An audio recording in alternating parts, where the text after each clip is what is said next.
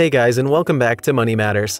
My name is Nathan and today's video, we'll be looking at 6 insane things you don't know about the founders of the Red Poppy Ranch. Let's get started. Number 1.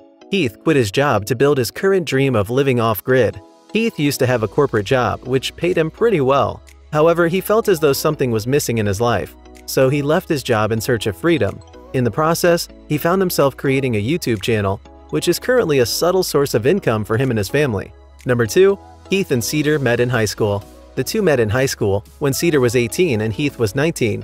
Their bond grew closer and eventually they started dating. Now they're happily married and they have five children whom they love very much. Number 3. They don't like discussing religion and politics. Heath and Cedar are always willing to engage their fans and subscribers in all their questions, except the ones that involve religion and politics. For the couple, these two topics are too controversial and only make sense when one can have a face-to-face -face conversation about them. Number 4. Heath was diagnosed with ulcerative colitis in 2017.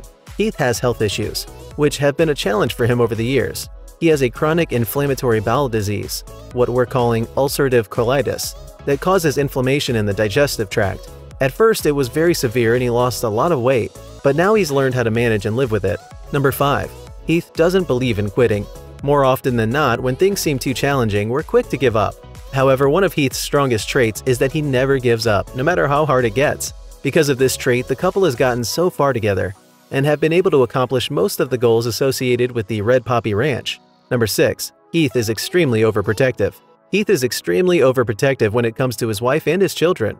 While it is a great trait to have as a father, it's also one of the reasons why he and his daughter Sage are always at loggerheads, but they always find a way to work around it. Thanks for watching.